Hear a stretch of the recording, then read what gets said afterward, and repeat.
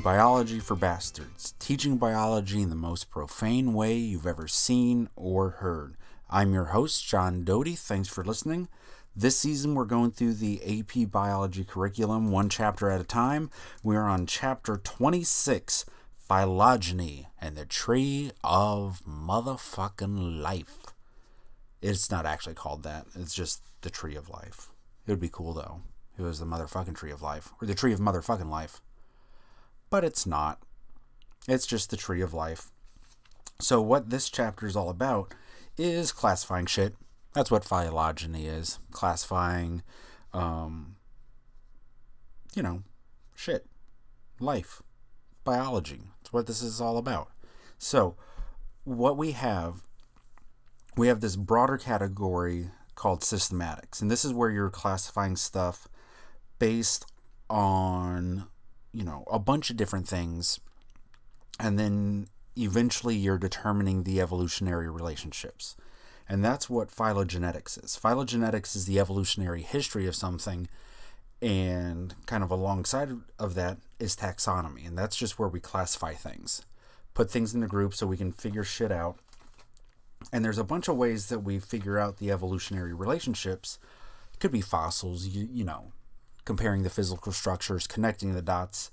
There's morphology and homologous structures, which we've talked about. That's where it's the same structure, different function type of shit.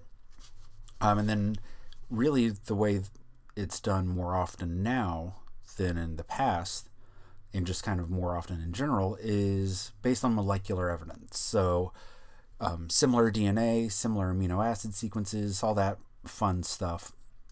That's kind of how you really focus on it now.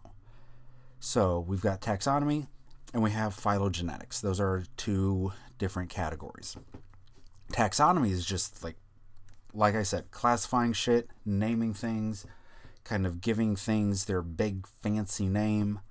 That's where you get um shit, what's his name? Linnaeus. And the Linnaean taxonomy, the binomial nomenclature, where every species or every organism on the planet has its scientific name that's, you know, genus and species. Um, and the example that's in the PowerPoint up on the website, biologyforbastards.com, boom, nailed it. Okay, that's where, you know, it's a panther. Okay, species name is Panthera pardus, pardus. I don't fucking speak Latin. I don't know. Um, but this is the domain, kingdom, phylum, class, order, family, genus, genus, not genius, genus, species that we've talked about. Domain, kingdom, phylum, class, order, family, genus, species. So remembering those, always learn dear King Philip came over for good sex. Because, you know, who wouldn't? That's taxonomy. We also have phylogeny. And the big thing with phylogeny are phylogenetic trees. And what they look like, they look kind of a lot like pedigrees, if you remember, or just the regular um, tree, like a family tree or whatever. But each branch shows the evolutionary history of a different group of organisms where each branching is where the lineage diverges and you can have different taxa taxa is the plural of taxon.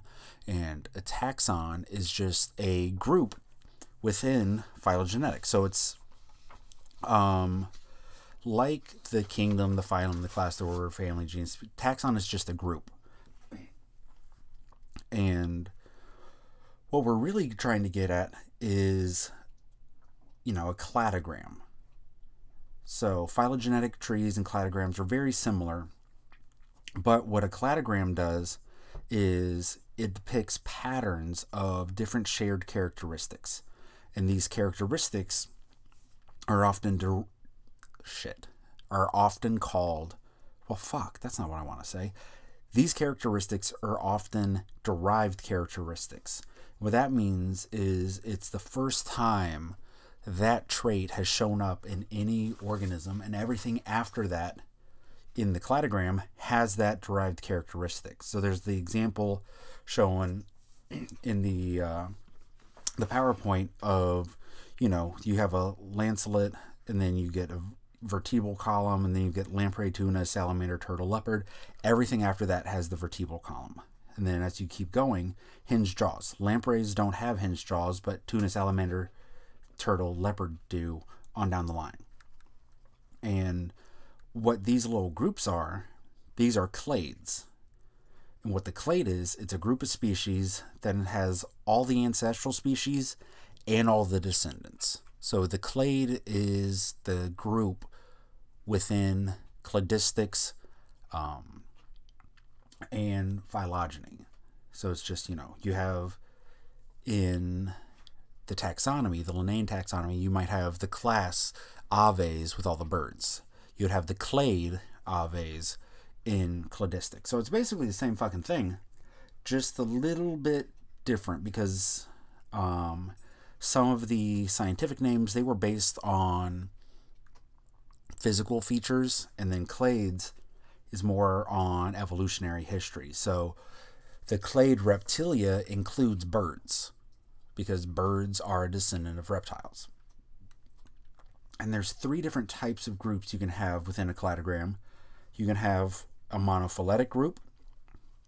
That's what I've been talking about, where it has um, all the ancestors, or it has an ancestral species and all of the descendants. So that's monophyletic. Next, you can have paraphyletic, which is basically monophyletic, but you're leaving out one of the little subgroups for whatever reason. Don't know why you would, but if you are, then it's a paraphyletic group. Then polyphyletic group is where you are including one from a different ancestral species. And this is better visually than verbally. So go to the website, check it out, follow along to the PowerPoint. They're there for a reason. Check them the fuck out. Or don't. I don't give a shit. It's whatever you want. I'm just putting them there because I care. That's the name of the game. Um, so, when you are building phylogenetic trees, the branches and the length of the branches, they can represent a couple different things. They can represent genetic change, so how um, how many mutations or whatever have piled up since they first formed, or they can represent time, where um, everything meets up at the one side that is present day, and then the length of the branches indicate the amount of time that has passed since you know they've diverged. Uh, and you can have a couple different shapes of trees. You can have rooted trees. Those are the ones that you see a lot. They uh, they make the most sense just visually. Um, I personally like circular trees. I just think they're really pretty. Um, then you have unrooted trees, which just they're the most confusing looking one. But what's good about the circular tree and the unrooted tree is it doesn't give this sense of, you know, hierarchy. This one's better than that one. This one's more evolved or advanced than the other. And sometimes you can get that from the rooted tree some people look at it and see, well, if it's at the top, it's more evolved than the things at the bottom. They're all equally evolved. Life started together, and it's been everything that's around has been evolving for the same amount of time. I was about to get on a soapbox and get start on a rant there, but I stopped myself. I stopped myself, so good for me. Um, so when you are building trees, what you try to do is you want the simplest explanation or the fewest number of DNA changes to make the tree. Which makes a lot of fucking sense. It's super obvious. Like, you're not going to expect all these shit mutations to happen and somehow end up with something when you can easily explain it with a smaller number of mutations. That's what you're going to use. So, it's the principle of maximum parsimony, where you're using the simplest explanation or the fewest DNA changes when you're making the tree. And you can use this because of this idea of a molecular clock, which basically states that there's some regions of DNA that evolve at a fairly constant rate. So you can use these mutations that pop up in these chunks of DNA to measure the date of past events. So, how many mutations have passed work backwards and you can figure out approximately, you know, within reason, when something happened. Like, for example, it's estimated that the origin of HIV in humans occurred around the 1930s, and they do that by measuring the amount of mutations that have popped up, um, and you know, doing some basic math, figuring that shit out. But that's about it.